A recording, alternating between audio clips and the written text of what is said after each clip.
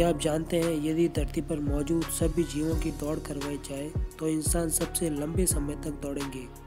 हमारे शरीर में एक परसेंट पानी की कमी होते ही प्यास लगने लगती है, और जब यह कमी दस परसेंट हो जाती है, तब इंसान की मौत हो जाती है। मनुष्य के शरीर में इतनी शक्कर होती है, जिसे दस कप चाय मीठी हो सकती है। आपको वीडियो कैसा लगा? अच्छा लगा तो लाइक ज़रूर करना। Okay, thank you.